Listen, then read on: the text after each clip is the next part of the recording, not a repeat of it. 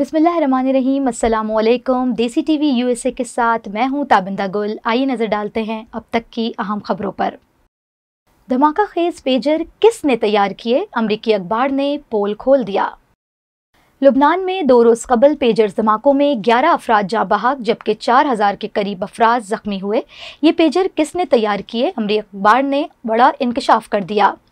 अमरीकी अखबार New York times की एक रिपोर्ट में इंकशाफ किया गया है कि लुबनान में 17 सितंबर को हजबुल्ला के जेर इस्तेमाल जिन पेजर्स में धमाके हुए, वो इसराइली इंटेलिजेंस एजेंसी ने तैयार किए थे।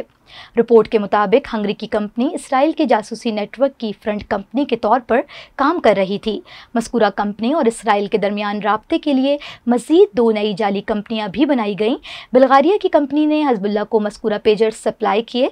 ताइवान के वज़ीर इकतदी अमूर के मुताबिक पेजर्स के आलात बुखारिस्ट कंपनी ने तैयार किए थे।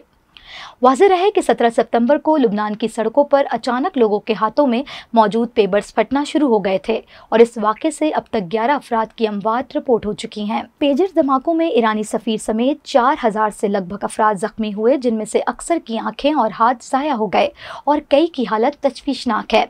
ईरानी सफ़ीर की भी एक आग दहशत गर्दी के इस वाक़े में ज़ाया हो गई। हजबुल्ला ने पेजर डिवाइस के धमाकों का जिम्मेदार इसराइल को करार दिया है। तहम सेहनी रियासत की जानब से ताहाल इस हवाले से कोई बयान जारी नहीं किया गया है। ये थी अब तक की अहम खबरें। मिलते हैं अगले बुलेटिन में। कुछ मजीद खबरों के साथ देखते रहिए Desi TV USA D T V N N और हमारा OTT platform D T V flex जहाँ आप तीन हज़ार से जायद चैनल्स देख सकते हैं। So stay tune and stay with us